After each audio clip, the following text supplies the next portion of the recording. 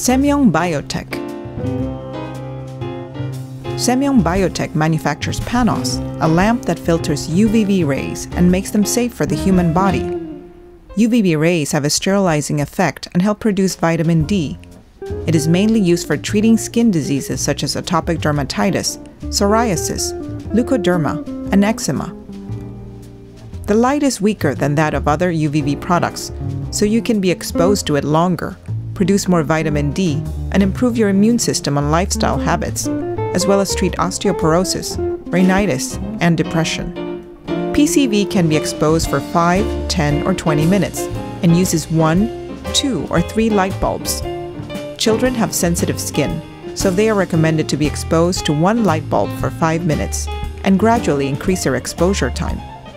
Elderly people with dark skin can be exposed for longer periods, and young children with pale skin should be exposed for less time.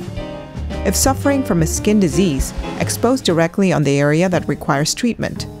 If you want to produce vitamin D, lie down on your back and expose it on your belly or your back while sitting down. Use this product every day if you have skin problems, and two or three times a week if you want to produce more vitamin D.